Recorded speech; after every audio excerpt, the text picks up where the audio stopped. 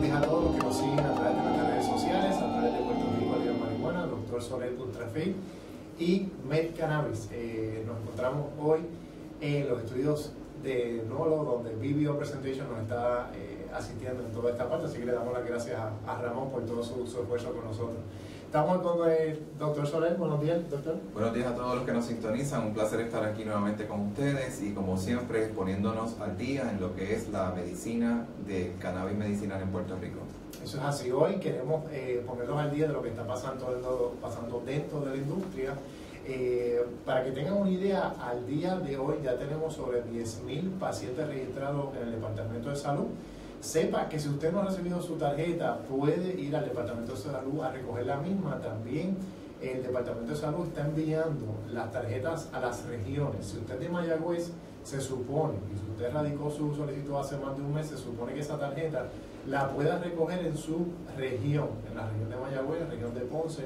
Así que ya el proceso se ha agilizado un montón, creo que faltan alrededor de 500 pacientes por eh, expedirle su, su tarjeta, así que esto se ha avanzado eh, enormemente. queremos también darle un update de los dispensarios que han abierto. Al día de hoy tenemos 27 dispensarios alrededor de la isla que ya se encuentran operando. Así que los invitamos a que vayan a la página del Departamento de Salud y la Oficina de Cannabis Medicinal, donde hay un mapa y eh, directorio de todos los dispensarios que al día de hoy están operando. También tenemos 5 eh, manufactureros, tenemos 11 licencias de cultivo, 2 licencias de laboratorio y una de transportación. ¿Dónde estamos hoy día? Pues ya eh, el gobernador el 9 de julio firmó la ley, así que tenemos ahora la ley 42, que es la que regula la industria del cannabis medicinal. Así que esto ya tiene fuerza de ley, no lo para nadie. Ahora continuamos con el paso, estamos en el camino de poder eh, crear un nuevo reglamento y que se apruebe ese nuevo reglamento. Eh, hoy le queremos hablar un poquito también de la importancia de coger los cursos de Puerto Rico Liga de Marihuana y de igual forma la importancia de darle seguimiento a todos los pacientes eh, a través de su médico. Doctor, ¿qué nos puede hablar de eso? Bueno, pues realmente tenemos una actividad bien importante este próximo sábado, en donde vamos a seguir obviamente orientando, educando y certificando pacientes que tienen necesidad del uso del cannabis medicinal para tratar sus condiciones debilitantes. Así que estamos bien contentos, somos las clínicas hoy día en Puerto Rico con mayor cantidad de pacientes activamente en tratamiento y ciertamente eso nos llena de orgullo porque muchas personas han depositado su confianza para tratar sus condiciones en nuestras manos expertas en cannabis medicinal y ciertamente hemos continuado esa gran cruzada de orientar y traer pacientes al mundo de una nueva medicina, una medicina natural que le funciona a 9 de cada 10 pacientes. Por lo tanto, este próximo sábado los invitamos a todos ustedes a participar de esta actividad si tiene un familiar que obviamente padece de una condición debilitante, tal, tales como cáncer, fibromialgia, dolor crónico, eh, eh, epilepsia, Parkinson, Alzheimer y otras condiciones que van a ver en nuestra página, les pedimos que puede venir a las clínicas que vamos a tener abiertas en la Universidad Politécnica este próximo sábado a partir de las 10. Eh, vamos a estar sirviendo a todos los pacientes y una vez más, eh, nos llena de orgullo poder hacer salud posible a través del cannabis medicinal. Esto es una actividad sumamente importante.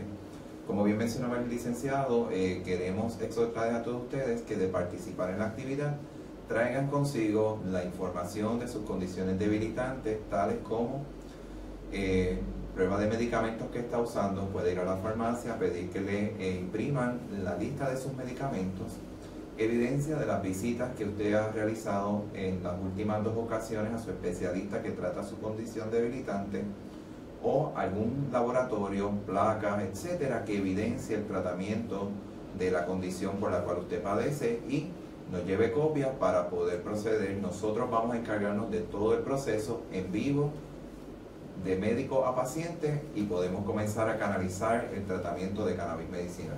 Sí, y para personas que eh, tengan interés en eh, registrarse como pacientes de cannabis medicinal, sepa que ese día, por el costo de 75 dólares, usted puede hacer todo el proceso que por lo regular le tomaría eh, tres o cuatro visitas. Usted llega con sus documentos médicos, el doctor Soler le va a evaluar, le va a pedir la recomendación si usted cualifica, luego tenemos los notarios que le van a hacer toda la juramentación de los documentos y le incluye también los 25 dólares que usted debe emitir al Departamento de Salud. Nosotros recogemos todos los documentos y los entregamos el día laborable siguiente al Departamento de Salud, por lo que el proceso es un expedito y bajo un mismo techo usted va a tener todos los servicios. Mucha gente nos pregunta, licenciado, ¿por qué un precio tan económico cuando vemos tantas alternativas que se nos hace difícil llegar? Y tenemos a bien decirle que a medida que hemos crecido y la industria ha crecido, como le estábamos mencionando, teniendo tantos y tantos pacientes, nos ayuda a facilitarle al paciente el costo de todo este trámite, porque realmente es un trámite donde el paciente que necesita el servicio lo tiene accesible y el volumen de tratamiento de pacientes ya en nuestras manos nos permite ofrecerle esta alternativa tan accesible. Ahora bien, es bien importante también señalar que muchos pacientes eh, tienen la duda de cuál tipo de cannabis voy a utilizar eh, para mi condición debilitante. Tenemos a bien comentarle, no se preocupe por ese proceso ahora, lo más importante es nosotros poder canalizar su licencia porque usted va a estar a partir del sábado, como otros tantos miles de pacientes, bajo nuestro cuidado, eh, siendo dirigido a las diferentes etapas de lo que va a ser su tratamiento. Así que es bien importante que sepan eso. Usted va a recibir todos los servicios, pero va a salir canalizado bajo supervisión médica a un tratamiento que va a ser el éxito de lo que es su condición debilitante que no ha podido resolver hasta el día de hoy. Sí, a diferencia de uno registrarse a través del internet como paciente de cannabis, aquí va a tener un trato especializado, individualizado, donde le vamos a tener charlas, donde le vamos a dar orientación. Eh, este trato mano a mano no lo, no lo sustituye nada, así que usted realmente le interesa registrarse como paciente de cannabis medicinal, tiene que hacerlo a través de los congresos de pacientes que el doctor Soleil y Puerto Rico Liga de Marihuana crean, porque ahí usted va a poder tener interacción también con otros pacientes, experiencias con personas que ya están bajo tratamiento. Vamos a tener exhibidores donde les van a regalar muestras tanto de CBD como de información educativa, va a haber dispensarios trayendo sus su productos, no su producto, pero su información sobre eh, sus servicios dentro del dispensario. Así que no hay nada más completo como el servicio que le damos a través de los congresos de pacientes con el doctor Soler y Puerto Rico Liga de Marihuana. Y esa es la diferencia eh, que nosotros queremos eh, traerle a ustedes. También algo muy importante, eh, la parte del seguimiento a los pacientes. Muchos pacientes piensan que como la recomendación dura un año, pues veo al doctor una vez al año y me olvido de eso. ¿Cuál es la importancia de que estos pacientes puedan ir a visitar a su médico que le da recomendación de cannabis con mayor frecuencia Bueno, aquí lo más importante es que el éxito de la terapia de cannabis medicinal radica en el seguimiento que le podamos dar al paciente para ir llegando a esas diferentes etapas. Ahora bien, es bien importante que una vez usted obtiene su licencia y nosotros le expedimos una recomendación para utilizar el cannabis medicinal, muchos pacientes se confrontan con el problema de cómo voy a administrarme la terapia y es lo más importante del tratamiento, las vías de administración que nosotros vamos a establecer para su tratamiento. Por esa es la razón que no es meramente, eh, obviamente, recibir el medicamento, sino que cómo lo vamos a orientar, le vamos a llevar de la mano a la administración adecuada del medicamento para que surja el efecto terapéutico que estamos tratando de lograr para su condición. Esa es la parte más importante que yo veo ahora mismo. Y he sabido de muchos eh, pacientes que adquieren la recomendación, van al dispensario, compran la flor, comienzan a vaporizar y dicen, esto es una porquería, esto no me hace nada, no siento efecto. ¿Cuál ha sido los hallazgos de, la oficina del doctor Soler en cuanto a ese aspecto? Pues eh, ciertamente eh, muchos pacientes que a lo mejor en algún momento de su vida no habían tenido la oportunidad de vaporizar la terapia, pues nosotros le orientamos de cómo vaporizarla la vaporización de la terapia de cannabis medicinal es tan exacta y tan igual como vaporizar el medicamento para el asma bronquial. Cuando usted tiene la maquinita con la máquina, precisamente lo mismo. Lo único que conlleva una, una técnica diferente y aquellos pacientes que hoy día eh, entienden que vaporizar es tragar el humo, o debo decir el vapor en este caso, pues nosotros lo orientamos a que pueda llevar ese medicamento hasta sus pulmones y que de ahí pase al sistema nervioso central. Ese es uno de los retos más importantes en todo esto, porque entonces todas las demás otras vías de administración, también nosotros le ayudamos a cómo administrarla efectivamente. Esa es la parte más importante, que no es solamente, obviamente, recibir un tratamiento, es el seguimiento, cómo lo educamos, cómo proveemos que esa terapia sea de larga duración y todos esos detalles son los que miles de pacientes han experimentado en nuestras clínicas bajo supervisión médica. Y si usted es un paciente que no ha tenido experiencia previa con el cannabis medicinal, tiene que tener un médico que lo guíe, que lo lleve de la mano. De igual forma, usted tiene que tener o algún familiar o alguna eh, persona conocida que tenga experiencia dentro de la industria del cannabis o como paciente para que le pueda guiar de qué métodos son los mejores, cómo utilizarlo. Sepa que cada persona es diferente y quizás el doctor Soler puede consumir 5 gramos de THC y yo también, el doctor Soler está súper bien y yo puedo estar en la cama tirado. Así que va a depender de la persona, del cuerpo de la persona, de la tolerancia, peso, muchas, muchas cosas. Así que no podemos limitarlo a tener la recomendación y esperar un año. Tenemos que darle seguimiento con el médico y tener grupos de apoyo, ya sea con pacientes o algunas organizaciones que lo lleven de la mano. Bien importante también sobre la actividad del sábado. Muchos pacientes de ustedes que fueron eh, certificados inicialmente en diciembre, también vamos a tener orientación para muchos de ustedes que próximamente, ya a partir de diciembre, tenemos que comenzar el proceso de recertificación de su licencia les vamos a estar también orientando durante ese día, así que es bien importante este taller y congreso de pacientes porque vamos a estar ayudando a pacientes nuevos y a pacientes que ya están establecidos pero que están próximos eh, a comenzar el proceso de recertificación, los vamos a estar orientando a través de Puerto Rico Legal Marihuana, cuáles son los pasos. Ya muchos de ustedes tienen expediente con nosotros, que el proceso se facilita más allá de buscar otra alternativa, de ir a otro médico, ya nosotros tenemos todo su expediente y es bien importante que nuestras clínicas cuentan con tres facilidades completas en San Juan, Arecibo y en el área sur Guayama y próximamente en Mayagüez a través de nuestra colega Luz Durán, que es parte de nuestra red médica. Eso es así. Y algo bien importante que recibimos muchas preguntas sobre el respecto, ¿cuándo tengo que renovar la licencia?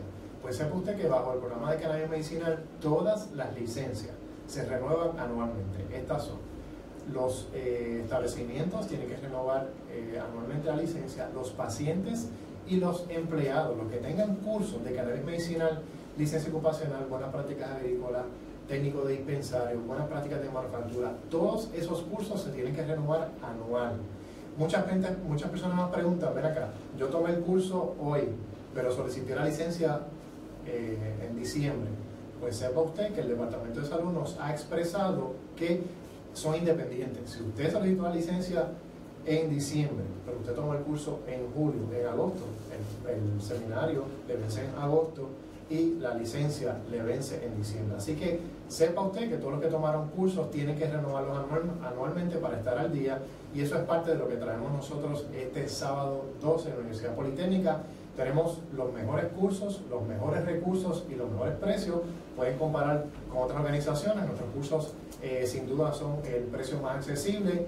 ¿Y por qué? ¿Cuál es la diferencia de Puerto Rico Liga Marihuana y cualquier otra organización? Se los voy a hablar en el habitual.